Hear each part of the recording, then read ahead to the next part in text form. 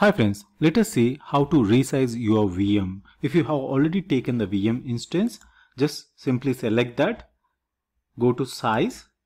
Under the size, my current VM size is D2SV3 which is the VM size and as per that the two vCPUs, RAM and 4 data disk has come.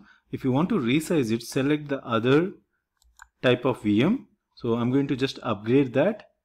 So I'm selecting 4 vCPUs and I'm going to resize it. So resizing is already started to the standard D4 V3. So let us just wait and see.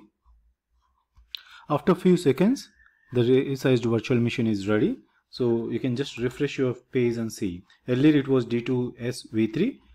After refreshing, it is D4S V3. So this is how you can resize your VMs anytime. But make sure your VM is shut down or at least restart after resizing your VM so that the changes will be reflected.